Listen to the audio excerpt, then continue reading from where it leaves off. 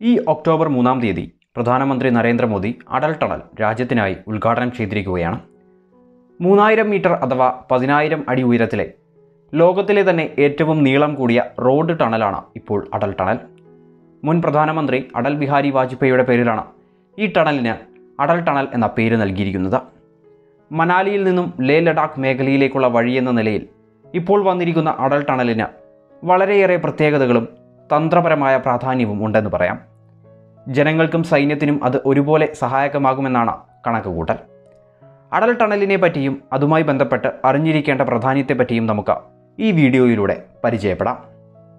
ഈ ടണലിന്റെ ആകെ നീളം എന്നത് ഒൻപത് പോയിന്റ് പൂജ്യം രണ്ട് കിലോമീറ്ററാണ്. നേരത്തെ പറഞ്ഞതുപോലെ തന്നെ മനാലിക്കും ലേ ലഡാക്ക് മേഖലകൾക്കുമിടയിലുള്ള ദൂരം നാൽപ്പത്തിയാറ് കിലോമീറ്റർ കുറയുമെന്നതാണ് ഒരു സവിശേഷത.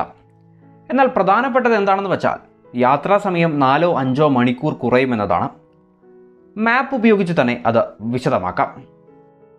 ഇതാണ് ഹിമാചൽ പ്രദേശ്. ഇത് മനാലി. മനാലി എന്നത് രാജ്യത്തെ തന്നെ പ്രധാനപ്പെട്ട ഒരു ടൂറിസ്റ്റ് ഡെസ്റ്റിനേഷനാണ് ഈ മനാലിയിൽ നിന്ന് ലേയിലേക്ക് പോകുന്ന വഴിയാണ് ഈ കാണുന്നത്. ലേ മനാലി ഹൈവേ. ഈ വഴിയിലൂടെ പോകണമെങ്കിൽ വളഞ്ഞു വളഞ്ഞുള്ള ഈ വഴി കടക്കേണ്ടതുണ്ട്. ഇതാണ് വളരെ പ്രശസ്തമായ റോക്താങ് പാസ്. ഈ മേഖല നോക്കുക. ഈ വെളുത്ത ഭാഗമാണ് ഹിമാലയത്തിലെ പീർപാഞ്ചൽ മലനിരകൾ. ഈ മേഖലകൾ വർഷത്തിൽ മിക്കപ്പോഴും മഞ്ഞുറഞ്ഞു കിടക്കുന്നു. മനാലി എന്നത് ഏതാണ്ട് രണ്ടായിരം മീറ്റർ ഉയരത്തിലാണെങ്കിൽ പീർപാഞ്ചൽ മലനിരകൾ എന്നത് നാലായിരം മീറ്റർ ഉയരത്തിലാണ്. അതായത് നമ്മൾ കടന്നു പോവേണ്ട റോക്താങ് പാസ് എന്നത് നാലായിരം മീറ്റർ ഉയരെയാണ്. വളഞ്ഞു പുളഞ്ഞുള്ള മഞ്ഞുറഞ്ഞ വഴിയായ റോക്താങ് പാസ് അവസാനിക്കുന്നത് ഗ്രാംഫുവിനടുത്താണ്. അത് കഴിഞ്ഞുള്ള ലാഹോൾ താഴ്വരയിലേക്കുള്ള പ്രവേശന കവാടമായ കോക്സർ വില്ലേജ് സ്ഥിതി ചെയ്യുന്നത് ഏതാണ്ട് മൂന്നായിരം മീറ്റർ ഉയരത്തിലാണ്. അത് വെച്ച് നോക്കുമ്പോൾ മനാലിയിൽ നിന്ന് മുന്നോട്ട് പോകുമ്പോൾ ഉയരം കൂടി അതായത് രണ്ടായിരം മീറ്ററിൽ നിന്ന് നാലായിരത്തിലേക്ക് വരികയും പിന്നീട് അത് മൂന്നായിരത്തിലേക്ക് കുറയുകയും ചെയ്യുന്നു. സ്വാഭാവികമായും മലനിരകൾ അവിടെ ഉണ്ടെന്നും അത് ഒരു വിലങ്ങ് തടിയാണെന്നും നമുക്ക് കാണാവുന്നതാണ്. ഈ മലനിരയെ മുറിച്ചുകൊണ്ട് സഞ്ചാരം സാധ്യമാക്കുന്ന വഴിയാണ് റോക്താങ് പാസ്. മാപ്പിലൂടെ നോക്കുമ്പോൾ പോലും റോക്താങ് പാസ് അത്രയേറെ വളഞ്ഞു വളഞ്ഞിരിക്കുന്നു. യാഥാർത്ഥ്യത്തിൽ വരുമ്പോൾ അത് അതിലേറെ ദുഷ്കരവുമാണ്. വർഷത്തിൽ മിക്കപ്പോഴും മഞ്ഞുറഞ്ഞു കിടക്കുന്നത് കൊണ്ട് തന്നെ വർഷത്തിൽ എല്ലാ സമയവും റോക്താങ് പാസിലൂടെ സഞ്ചാരം സാധ്യമല്ല.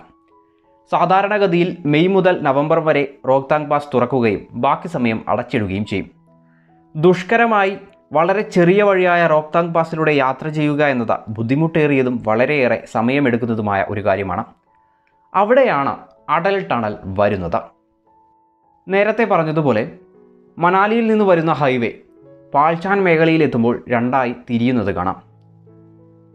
വലത്തോട്ടുള്ളത് നേരത്തെ പറഞ്ഞ റോത്താങ് പാസ് വഴിയാണെങ്കിൽ ഇടത്തേക്കുള്ള റോഡ് എന്നത് നമ്മളെ കൊണ്ടെത്തിക്കുക അടൽ ടണലിലേക്കാണ് പീർപ്പാഞ്ചൽ മലനിരകളെ തുരന്നുകൊണ്ടുള്ള പുതിയ തുരങ്കപാത നമ്മളെ വീണ്ടും മനാലിയിലെ ഹൈവേയിലേക്ക് കണക്ട് ചെയ്യുകയും ചെയ്യും. റോക്താങ് പാസ് എന്നത് ആറുമാസം മാത്രമായിരുന്നു സഞ്ചാരത്തിന് അനുമതിയുള്ളൂവെങ്കിൽ അടൽ ടണൽ വർഷം മുഴുവൻ സഞ്ചാരത്തിനായി തുറന്നു കൊടുക്കുന്നതാണ്.